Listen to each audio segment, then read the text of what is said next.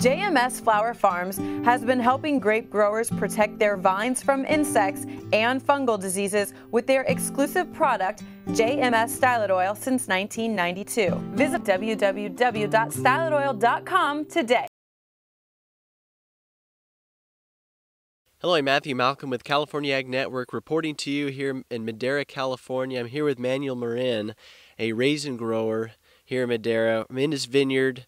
Uh, we're talking about cover crops, specifically legumes and their nitrogen fixing capabilities. I think everybody, uh, most growers would know about this and about how good it, these cover crops are for the soil and for these plants.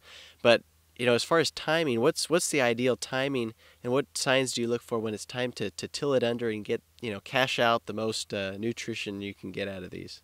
No, Matthew, uh, you, you bring a good point, and there is a timing so you can get your most uh, bang for your buck, as they would say, uh, with these legumes. Uh, it's real simple, you know. Usually, when it gets you know three feet tall, it's usually about time. But there's a real tell that you can see, and that is you got to pull these stalks out out of the ground Look at these root nodules. You'll see little root nodules here.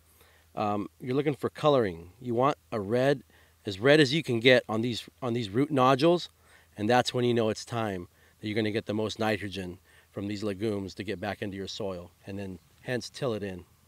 Yeah. Do you have any recommendations as far or preferences as far as what you guys do specifically for these these crops?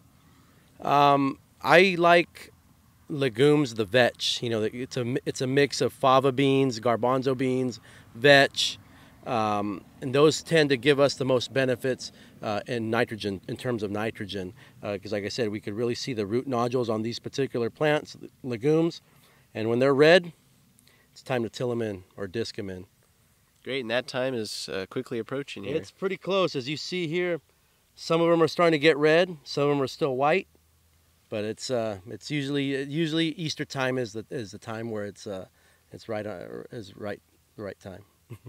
Great. Well, thank you. You've heard it on California Ag Network. I'm Matthew Malcolm, CaliforniaAgNet.com.